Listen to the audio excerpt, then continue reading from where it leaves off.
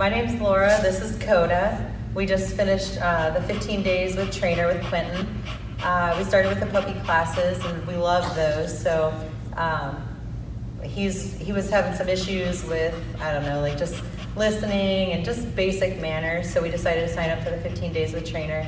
And uh, I was actually out of the country and I was getting um, video or like updates from Quentin, and I was blown away. I kept I shared them on my on my Instagram, and I was getting people like just like that knew Koda that were like I, just mind blown that it was him.